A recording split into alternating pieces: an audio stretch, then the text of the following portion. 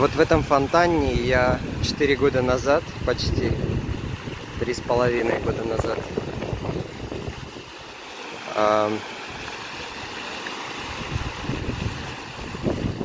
мыл ухо.